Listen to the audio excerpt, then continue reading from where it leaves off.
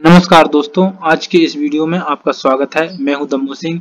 आज मैं आपको आधार कार्ड में नाम बदलना, डेट ऑफ़ बर्थ बदलना और एड्रेस बदलना बताऊँगा। दोस्तों, आप इस चैनल पर नए हैं तो इस चैनल को सब्सक्राइब कर लीजिए और बेल आइकॉन पर क्लिक कर लीजिए, जिससे और भी अच्छी अच्छी वीडियो आपको मेरी मिलती रहेंगी। चलिए दोस्तों, मैं आपको मैं आधार कार्ड अपडेट करना बताता हूँ। आधार कार्ड अपडेट करने के लिए आप अपने मोबाइल में, कंप्यूटर में, गूगल में सर्च करेंगे, आधार कार्ड अपडेट। सर्च करने के बाद आपको आधार कार्ड की वेबसाइट मिलेगी। यहाँ पर लिखा हुआ update your Aadhaar card. Unique identification authority of India की वेबसाइट मिलेगी, इसको अपन ओपन करेंगे। इस प्रकार ओपन हो जाएगी। आधार कार्ड की वेबसाइट ओपन हो गई है। यहाँ पर थोड़ा नीचे जाएँगे। यहाँ नीचे लिखा है, update address in your Aadhaar card. नीचे लिखा हुआ है इसके, update demographic data online. Online update करने के लिए यहाँ पर क्लिक करेंगे। क्लिक करने के बाद Aadhaar card self service update portal open हो जाएगा। यहाँ पर नीचे लिखा हुआ है name date of birth gender address and language online change करने के लिए यहाँ पर क्लिक करेंगे। मैं proceed to update Aadhaar card पर क्लिक करूँगा। क्लिक करने के बाद इस प्रकार पेज खुलेगा। यहाँ पर आप अपना आधार कार्ड नंबर डालेंगे, बारह अंकों वाला, और नीचे यहाँ पर एक कैप्चर कोड दिया है, ये डालेंगे। मैंने आधार कार्ड नंबर डाल दिया कैप्चर कोड डाल दिया। और सेंड ओटीपी पर क्लिक करेंगे। क्लिक करने का इस प्रकार पेज खुलेगा आगे। यहाँ पर आप थोड़ा सा ऊपर करेंगे। यहाँ पर ओटीपी डालेंगे आप। ओटीपी डाल दिया मैंने और लॉगिन पर क्लिक करूँगा। क्लिक करने के बाद इस प्रकार पेज खुलेगा यहाँ पर। लिखा होगा update demographic data including address update demographic data लिखा होगा इस पर क्लिक करेंगे तो इस प्रकार पेज खुलेगा। यहाँ पर आपको तीन ऑप्शन दिए गए हैं। चेंज करने के लिए। एक तो नेम चेंज करने के लिए लिए डेट ऑफ़ बर्थ बदलने के लिए, और एड्रेस बदलने के लिए। नेम को आप सिर्फ़ तीन बार चेंज कर सकते हैं। डेट ऑफ़ बर्थ को सिर्फ़ एक बार कर सकते हैं आप, और एड्रेस को आप कई बार चेंज कर सकते हैं। और जेंडर को भी आप एक बार चेंज कर सकते हैं। मैं आपको नेम अपडेट बताता हूँ, और डेट ऑफ़ बर्थ अपडेट करना बताता हूँ, और एड्रेस एड्रेस अपडेट करने बताता हूँ। सिलेक्ट करने के बाद यहाँ पर प्रोसीड लिखा हुआ उस पर क्लिक करेंगे। क्लिक करने के बाद इस प्रकार पेज खुलेगा। यहाँ पर वो भी बताया गया है कि नेम को आप दो बार लाइफ में चेंज कर सकते हैं। डेट ऑफ़ बर्थ को एक बार, और जेंडर को भी एक बार।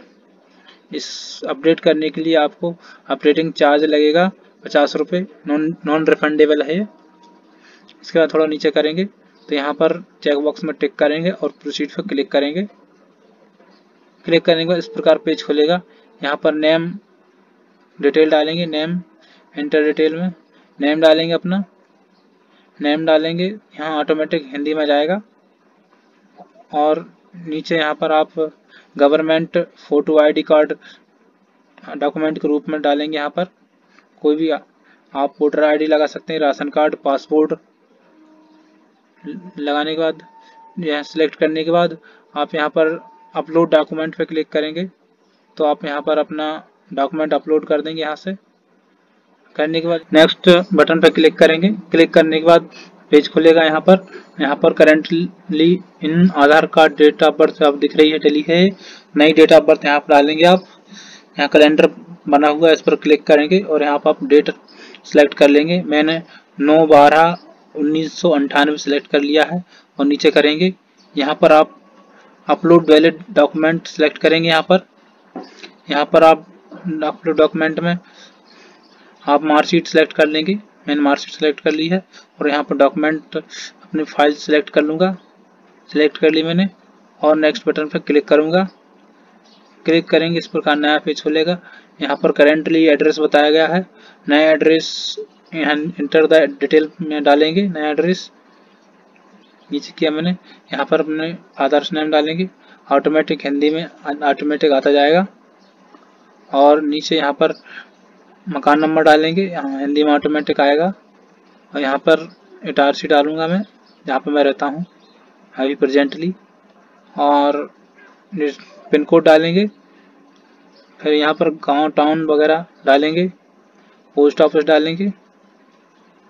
और यहाँ पर होशंगाबाद डिस्ट्रिक्ट सेलेक्ट करेंगे, जो आपकी डिस्ट्रिक्ट में आप रहते हैं, यहाँ पर सेलेक्ट कर लेंगे और अपना स्टेट सेलेक्ट कर लेंगे। सेलेक्ट करने के बाद नीचे जाएँगे, यहाँ पर अपलोड वैलिड डॉक्यूमेंट में आप यहाँ पर कुछ भी डाल सकते हैं आप बैंक स्टेटमेंट या voter ID ration card passport मैं यहाँ पर वोटर आईडी सेलेक्ट करता हूँ। वोटर आईडी और वोटर आईडी डॉक्यूमेंट मैंने अपलोड कर दिया है और प्रीव्यू पे करेंगे। प्रीव्यू पे करने के बाद प्रीव्यू द डिटेल ओपन होगा। यहाँ पर आपने जो नया नाम डाला है, वो नाम दिख रहेगा यहाँ पर। और आपने जो डेट ऑफ़ बर्थ नई डाली हुई है, वो दिख रही है यहाँ पर। और आपने जो नया एड्रेस डाला हुआ है न्यू करेक्ट एड्रेस जो डाला हुआ है, वो दिख रहा है यहाँ पर। और नीचे करेंगे, यहाँ पर आप कैप्चर कोड डालेंगे और सेंड ओटीपी पे क्लिक करेंगे। तो ओ टी पी आ जाएगा आपके पास। यहाँ पर आप ओ टी पी डालेंगे और चेक बॉक्स में टिक करके मैक पेमेंट पे क्लिक करेंगे तो आप यहाँ पर पेमेंट करेंगे पचास रुपये आप आधार कार्ड अपडेट करने के पचास रुपये पेमेंट पेमेंट करेंगे। आप एटीएम कार्ड से पेमेंट कर सकते हैं, या नेट बैंकिंग से, या फ़ोन पे वगैरह, यू पी आई डी द्वारा कर सकते हैं। आपको तीन मोड दिए जाएँगे।